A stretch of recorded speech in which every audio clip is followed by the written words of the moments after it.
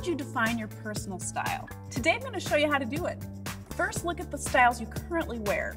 Next, try new styles. Is bohemian your thing? How about minimalist? Old Hollywood glamour? To do this, I went to Clothes Mentor, where they're up to date on the latest trends. Lastly, combine elements of the styles you like and create your own style. Then label it. I'm calling mine casual glam. Now I have a reference to use while shopping, and I'm definitely going back to Clothes Mentor, where I can get casual glam for a great deal.